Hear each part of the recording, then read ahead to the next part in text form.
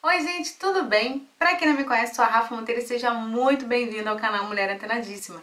No vídeo de hoje eu trago 5 dicas antenadíssimas para quem quer engravidar. Ficou curiosa para saber que dicas são essas? Vem comigo!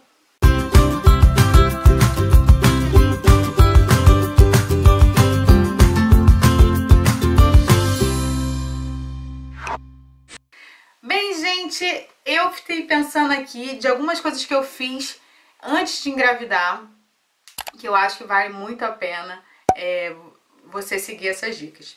Primeira dica é, quando você for fazer seu preventivo anual, você já estiver pensando em engravidar, já estiver planejando, você peça para o seu médico, doutor, estou pensando em engravidar, quero fazer os exames pré-natal. Aí ele vai te passar os exames, todos os exames que a grávida faz pelo menos duas vezes ao longo dos nove meses, das 40, 41, 42 semanas, que é hepatite B, hepatite C, toxoplasmose, é, hemograma normal, né? É, hepatite A, hepatite B, hepatite C, já falei, né? Então, é o HIV, ele vai, tipo, sífilis, ele vai te passar, gente, uma série de exames, né? De sangue, que você faz de sangue, que é, vai identificar se você tem é, imunidade, se você não tem imunidade, se você precisa tomar vacina já para ir, é, se você precisa evitar algumas coisas. Eu falo isso porque eu queria engravidar nos meus 30. é, nos meus 30. E aí, quando eu, é, em 2015, eu comecei a ir ao ginecologista na minha consulta de anual e pedir para ele os exames para tentar engravidar e o que, que ele me recomendaria fazer. Graças a esse meu pedido de exames de pré-natal, eu descobri que a minha imunidade estava baixa para hepatite B. Então eu tomei as vacinas lá em 2015 e agora, gestante, eu não precisei tomar porque eu já tomei. Você toma as três doses da vacina uma vez só. Então, tipo assim, me livrei de uma vacina, gente, que é muito ruim, que o braço dói, fica inchado, você não consegue levantar, né? Nesse período que a gente fica meio chatinha, né? Hormonal, hormônio, gravidez e tal. Então, tipo assim, uma... E outra coisa também, nesse meu exame de 2015, ele constatou que eu estava com a imunidade baixa para toxoplasmose.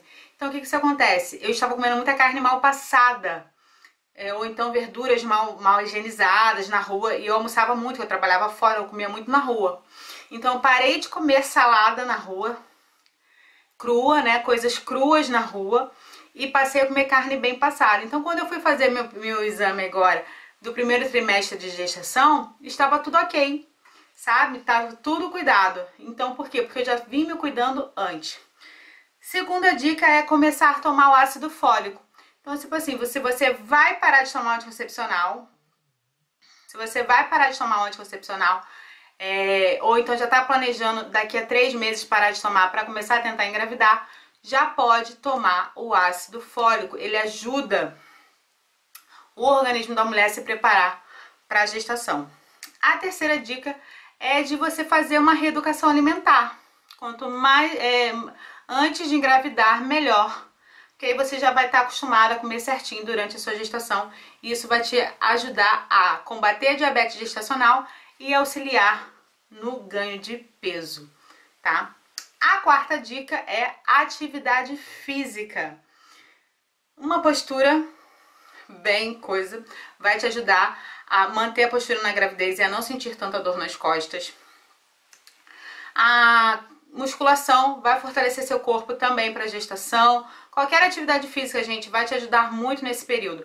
Eu, por exemplo, eu consegui caminhar tranquilamente meia hora, até mais de meia hora por dia, sem me dar problema nenhum. E ainda ajudou na minha é, circulação. E eu ainda não fiquei inchada, ainda não comecei a ficar inchada. Por quê? Eu, tenho, eu tô com esse hábito de estar tá caminhando, mas eu já vinha de um hábito de atividade física. Então isso ajuda o corpo a se acostumar e na gravidez manter o ritmo, né? Diminuir, né, coisas pesadas e tal, mas manter o ritmo. E atividade física, gente, no momento que a gente tá, se você engravidar, caminhada na tua rua mesmo, com a máscara, ou se não tiver ninguém na rua, sem a máscara, mas fazer qualquer atividade, dançar em casa, na sala, fazer aqueles exercícios de casa mesmo, tá? E a quinta e última dica é qualquer produto, qualquer procedimento estético que você queira fazer. É... Qualquer coisa que você queira fazer, gente. Tatuagem, eu fiz, eu refiz minhas tatuagens todas antes da, da gestação, né? E assim, sem planejar, né? Que a minha, a minha foi de surpresa, eu não planejei, foi um sustinho que a gente levou, mas eu já tinha feito. É, micropigmentação na sobrancelha, se você quiser fazer antes, faça.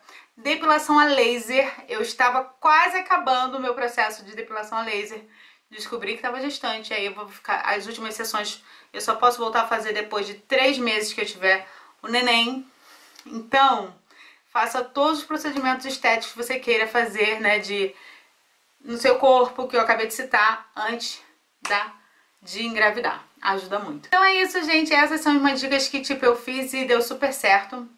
Eu achei que eu fosse demorar a engravidar quando, assim, eu comentei, né? Eu, a gente tinha os planos de engravidar realmente agora, em 2020, bem antes de saber que a gente ia passar por uma pandemia. Então é isso, gostou dessas dicas? Já conhecia? Deixa aqui nos comentários que eu quero saber. Gostou do vídeo? Não esquece de deixar aquele curtir aqui pra mim. Se inscreva no canal para não perder mais nenhum vídeo e me seguir nas redes sociais. Um beijo, fique com Deus e até o próximo vídeo. Tchau!